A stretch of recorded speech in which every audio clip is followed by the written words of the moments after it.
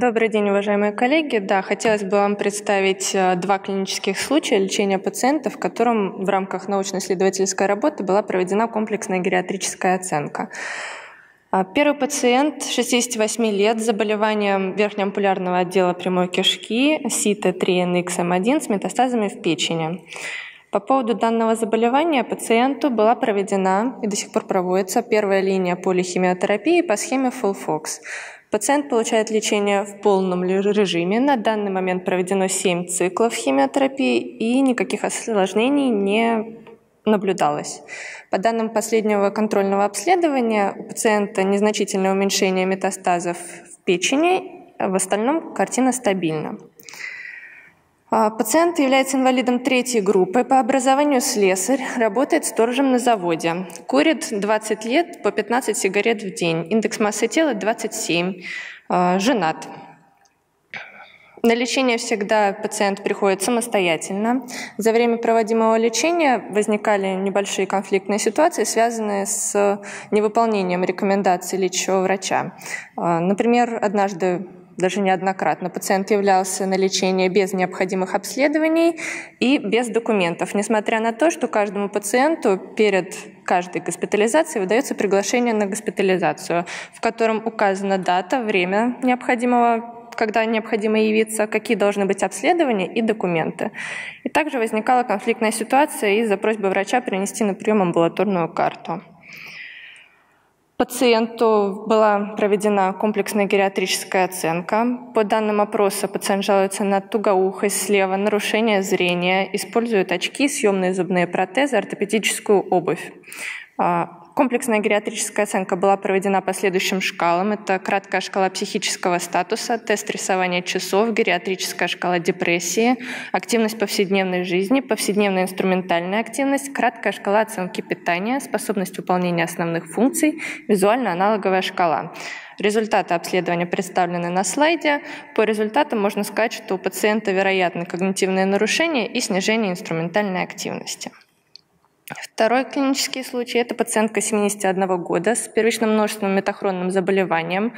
А, болеет она с 94 года. У нее наблюда... был первоначально рак щитовидной железы, затем рак левой молочной железы, и на данный момент она лечилась по поводу а, рака яичников.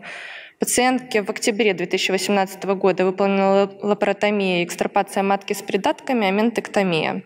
Затем с октября 2018 года по февраль 2019 пациентка получила 6 циклов адювантной полиохимиотерапии по схеме ТС. А, дозы препаратов были редуцированы на 25% с учетом возраста пациентки. По данным контрольного обследования признаков рецидива не наблюдается. Пациентка инвалид второй группы, учитель математики, курит на протяжении 53 лет по одной пачке в сутки. Индекс массы тела 26, вдова.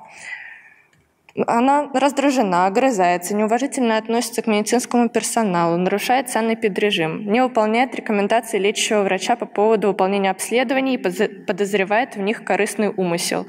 Пациентке было рекомендовано наблюдение у эндокринолога по поводу ее заболевания щитовидной железы, от чего она отказывается и лечится самостоятельно, не доверяя рекомендациям специалиста. С пациенткой неоднократно проводилась беседа по поводу ее неуважительного отношения. Ситуация не изменилась. Было предложено проходить лечение по месту жительства, от чего она отказалась и настаивает на лечении МИЦ Петрова. Также была проведена комплексная гериатрическая оценка. А, пациентка наблюдает у себя хронические заболевания и нарушения. Это артериальная гипертензия, ишемическая болезнь сердца, нарушение мочеиспускания и дефекации, нарушение слуха, нарушение зрения, проблемы с пережевыванием пищи. Жалуется, что постоянно испытывает хроническую боль, требующую приема НПВС. Однако при опросе, какие она принимает ежедневно препараты, ни одного обезболивающего препарата она не назвала. Также по тем же шкалам была проведена комплексная гериатрическая оценка, результаты представлены на экране. И по данным результатам можно сказать, что у пациентки вероятно когнитивное нарушение, вероятно депрессия, снижение инструментальной активности и опасность недоедания. Спасибо за внимание. Да, конечно. Нажимайте. Юлия Владимировна, можно я задам маленький вопрос?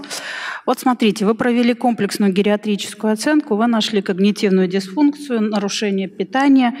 Э, вы что-нибудь назначали или был ли вам кто-то в помощь, кто бы вам помог решить вот эту проблему? Я, Я понимаю, что вы не гериатр. Да. Э, есть ли у вас кто-то, кто вам это может помочь в этом? Нет. На данный момент у нас таких специалистов в центре нету, все приходится принимать решения самостоятельно. Можем только назначать дополнительное питание пациентам и, возможно, консультацию других специалистов в других центрах. Спасибо. Я и хотела сказать, что мы на самом деле хотели показать о том, что эти пациенты есть. Они уже есть.